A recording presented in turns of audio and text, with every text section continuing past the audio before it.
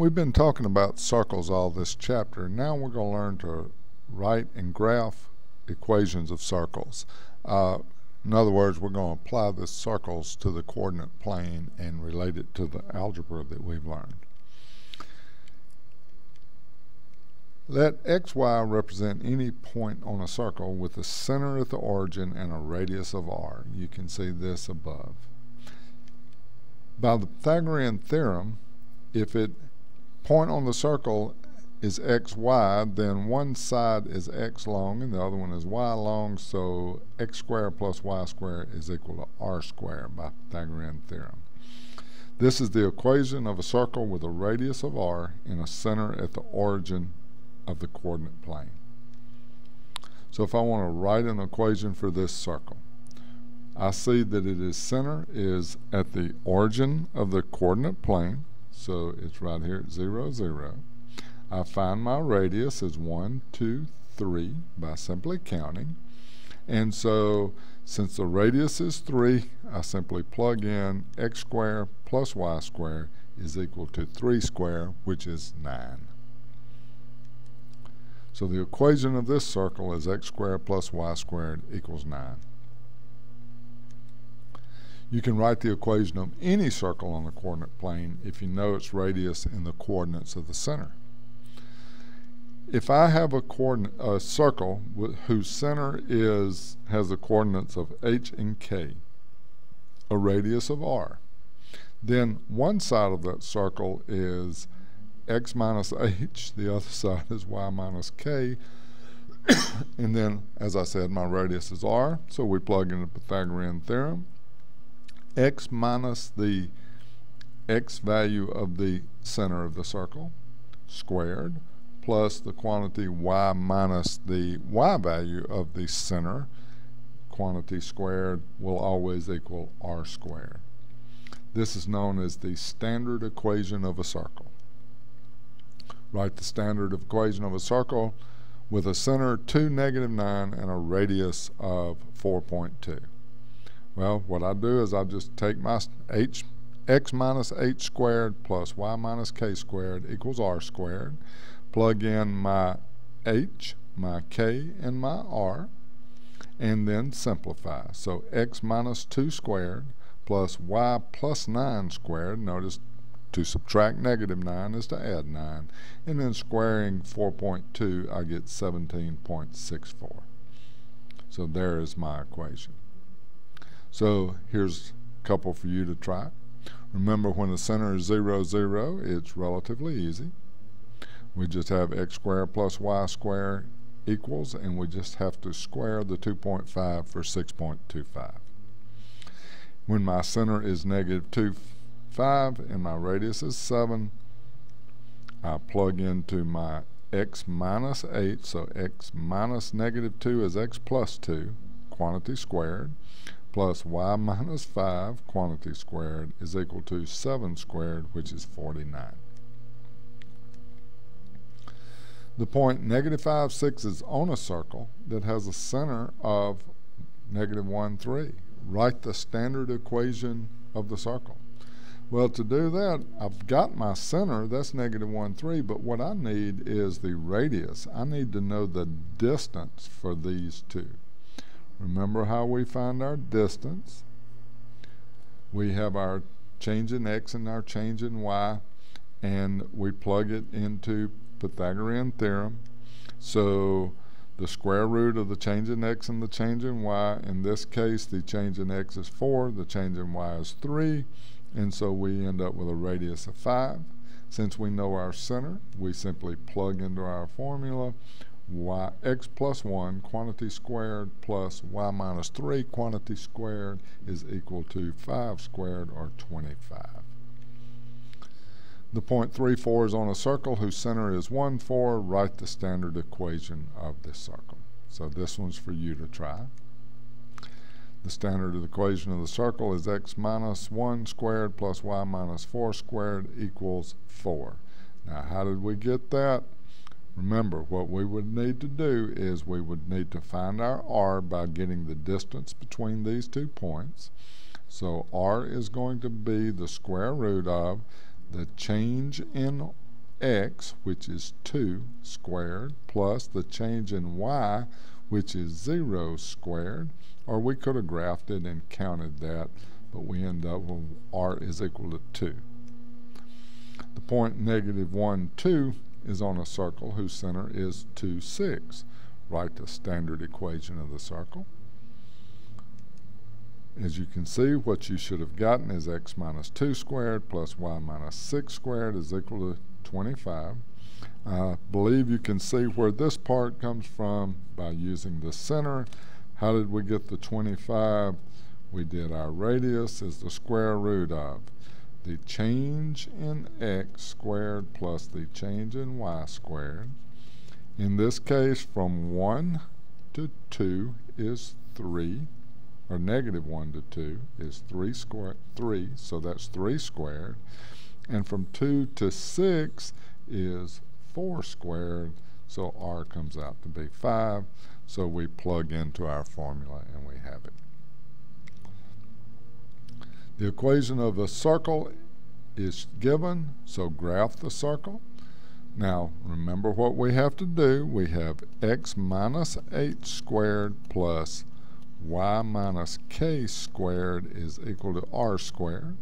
So in this case, that is x minus 4 squared, so h is 4, plus y minus k squared, that's y minus a negative 2 is the only way that would be positive 2. So we have our center of our circle at 1, 2, 3, 4 down 2. And then our radius is r squared is 36, so that makes r6.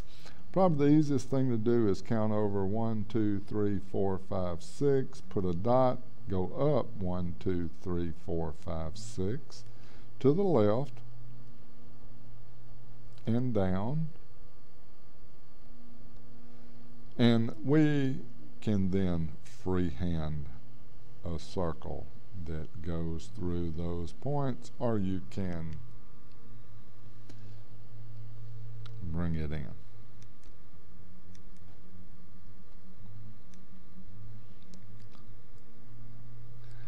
The epicenter of an earthquake is a point on the Earth's surface directly above the earthquake's origin. A seismograph can be used to determine the distance to the epicenter of an earthquake. Seismographs are needed in three different places to locate an earthquake's epicenter. The epicenter is seven miles from point A, which is negative 2, 2.5, 4 miles from point B, 4, 6, and 5 miles from point C, 3, negative 2.5. So what we do is we graph these circles and we see where they meet.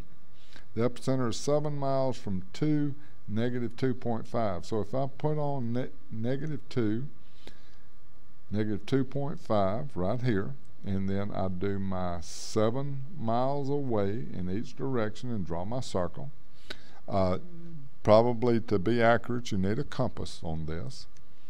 The epicenter is four miles away, so what I've got is B starts at 4, 6 and has a radius of 4. So notice my radius is 1, 2, 3, 4.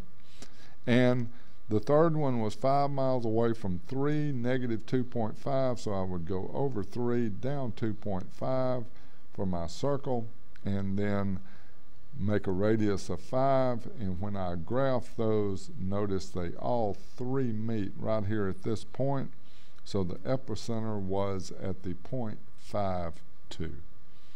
So what we do is we graph all three using the place where the seismograph was as the center of the circle and its distance away in miles as the radius, we plot all three circles and see that the three circles meet in one place and that would be the epicenter.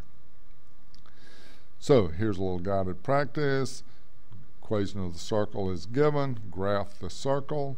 What we need to do is find our center point. Our center in this case is 4, negative 3, and our radius is 4. So we go to 4, negative 3, and do a radius of 4. What about this one? We're going to do our center, which is negative 8, negative 5, and the radius is 11. Negative 8, negative 5 with a radius of 11. Why are three seismographs needed to locate an earthquake's epicenter? If you will think about that, what we have is two circles could intersect in two points if they cross. So how do I know which of those two points it is? It's the one that that third circle would hit to. Sometimes the equation of a circle is written in another form and we have to use our algebra skills to put it into standard form if we want to graph it. General form of equation is x squared plus y squared plus ax plus by plus c is equal to 0. This form is found by simply taking the equation of standard form and multiplying it all out, combining your terms, and putting it in the right order. For example, to do this, I would square each one of those, and then I would simply add everything, putting in the order of x squared plus y squared, your minus 6x, your minus 4y, and the 9 plus 4 minus the 16 comes up to be negative 3 and we have it equal to 0. But how do we get go in the other direction? Because it, if we have this form, we don't really need this form because we can graph from there. But if we have general form, how do we get it back to where we can graph from it? We use a method called completing the square. So I want to convert from general form back to standard form. We want the squares of the two binomials to be added together. And so we're going to take this and we're going to sort of work backwards and come up making this equation look like the other form. We're going to rearrange it so the like variables are grouped together and the constant is on the other side. So notice what I did. I moved the minus 6x up there to go with the x squared. I moved the minus 4y to go with the y squared, and then I moved the negative 3 to the other side, making it positive 3. Once I get it in that form, then I need to turn this into something squared. That's where the completing the square comes from. The question now becomes, how do I turn x squared minus 6x and y squared minus 4y into the square of a binomial? For each one, take half of the coefficient of the linear term and add the results to both sides of the, square it, and then add the results to both sides. So here's what I'm doing. I'm looking at that negative 6, take half of it is negative 3, and squared is 9. So half of the negative 4 is 2, or half of 4 is 2, squared is 4. So what I'm doing is I'm going to add in a 9 to the x squared minus 6x and add a 9 to the right. I'm going to add in a 4 to the y squared minus 4y and add it in to the right. And now I'm going to think about what it was I squared to get that 9. It was 3. So x squared minus 6x plus 9 becomes x minus 3 squared. y squared minus 4y plus 4 becomes y minus 2 squared. When I combine all that, that's 16, and there is my standard form. So let's try doing this one. First thing we're going to do is put it in standard form. So we're going to get our x's together, our y's together, move their 1 over. We're going to take half of negative 2, which is 1, and square it to get 1. Half of 6 is 3, square it to get 9. So I'm going to add a 1 into the first parentheses, a 9 into the second parentheses, and each of those on the right-hand side of the equation. That gives me x minus 1 squared, y minus 3 squared, and 9. So my center of my circle is at 1, 3, and the radius is at 3. So 1, 1, 2, 3 a radius of 3. Remember, I just count out three spaces in each direction so that I can then draw my circle. Find the center and radius of a circle represented by the equation given.